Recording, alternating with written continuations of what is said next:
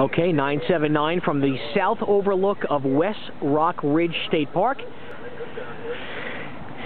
It's about 10 o'clock in the morning on October 30th, and just to look over the morning sun out to the city of New Haven, Connecticut. Just a quick look around. There's the 979 uh, Dare to Dream DX Mobile set up here. Merely 230 feet, if that much. Not a very high spot, but some contacts have been made.